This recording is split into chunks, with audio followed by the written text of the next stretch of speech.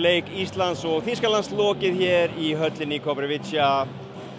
Slæmt tap gegn þjóðverjum, þeir fyrna sterkir. Við töluðum við Kristján Arason, þjálfara, Gísla Torgir Kristjánsson, mannleiksins og Andra Skeving sem varði tíu bolta.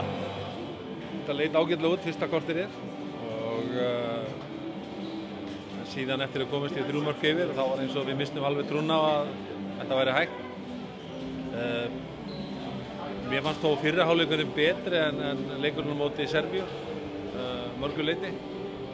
En síðan var þetta bara komið út í að leikurinn var búinn og þá skipt þessi úslit engum máli. Eiginlega er núna framöndan að, að gýra sig upp í leikina um 15-8. sætið og það er á förstæðin og, og það var svona, við vorum byrjað að undirbúa það mót með því að kvíla leikileikmenn og við verðum að vera tilbúinir í örkuleiki þar. Eða Gísli, leiklokið, hvað getur þú tekið með úr þessum leik? Við áttum góðar fyrstu 15 mínútur, fyrstu 15 mínútur þá var þetta bara jafn leikur og síðan, síðan bara klúrum við allt og mikið að dauðafærum og markmaði þeirra verið rosalegt, bara rosalega ham. Við klúrum, klúrum færum hvað eftir annað og síðan bara einhvern veginn, þá bara einhvern veginn, veist, við bara, bara dettum úr leiknum sko. Eftir það og þeir fá mjög góða fórustu inn í hálfleik og við einhvern veginn bara komum aldrei aftur. Um eitt setni hálfleikurinn var eiginlega horfinn. Þá er það bara næsti leikur, það eru að öllu líkjum Danir, ekki satt? Jú, ég er mjög spenntið fyrir þennan leik. Af því að við mættum þeim í Þískalandi og við höfum harma hefna síðan þá. Já, Andri, þú áttir fína kabla sérstaklega í fyrriháleik.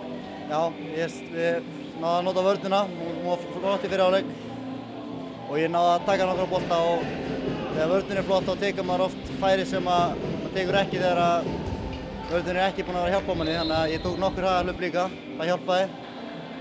Og svo komum við bara inn í setniháleiki bara allir, það vantæði bara allt einhvern veginn, alla stemmingu og bara átti í liði, það, við þurfum að bæta það. Það er oft erfitt að vera markmaður og vera í stuði og reyna að smita hérna, sinni þegar að vel gengur hjá þér að smita það inn í liðið einhvern veginn en þú reyndi þitt besta. Já, ég gerði það en það var bara ekki nóg í það, þannig að maður reynir bara næsta leik. Hver er eh, handbóltaleg fyrirmynd þín? Uh, það eru tveir, það er Niklas Landin, danski markmaðurinn og Mattias Andersen, hann er virkilega góður líka. Þeir eru svona mín ækon.